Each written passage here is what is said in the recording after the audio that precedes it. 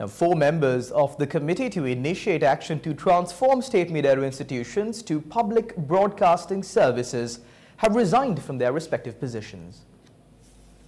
On the 31st of January this year, Minister Mangala Samaraweera appointed a committee to initiate action to transform state media institutions to public broadcasting and television services.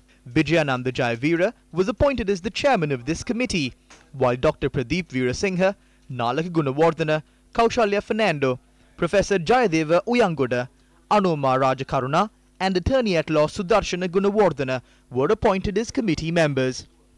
However, Professor Jayadeva Uyangoda, attorney-at-law Sudarshana Gunawardena, Anuma Rajakaruna and Kaushalya Fernando have tendered their resignations from this committee to the Secretary of the Ministry of Media. Accordingly, the committee now consists of Vijayananda Jayaweera, Dr. Pradeep Veerasinghe and Nalaka Gunawardena. It was these three individuals who initiated the drafting of a document titled Independent Council for News Media Standards Act that proposes the introduction of law to penalize and fine media personnel and institutions. The respective document mentions the name of Vijayananda Jayaweera as its draftman. At present, MP Ruwan Vijay serves as the non-cabinet minister of mass media, while a Gazette notification issued last Tuesday confirmed that all state media comes under his purview.